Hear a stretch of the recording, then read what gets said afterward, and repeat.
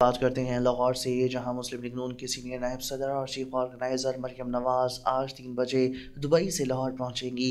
Party ने इनके शानदार इस्तकबाल की तैयारियाँ मुकम्मल कर ली। साढ़े तीन माह लंदन में क्याम के बाद नून लीग के सीनियर नायब सदर आज दोपहर तीन बजे दुबई से पाकिस्तान इंटरनेशनल एयरलाइन की परवाज़ दो सौ चौंसठ पर लाहौर पहुँचेंगी। दुबई से वतन वापसी पर वफाकी वज़ीर इतलात नशरियात मरियम औरंगज़ेब भी इनके हमरा होंगी।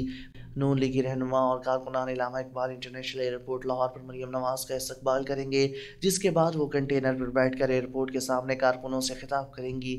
फिर जाती उम्र रवाना हो जाएँगी, जबकि इस मौके पर कोई रैली मुनद नहीं की जाएगी।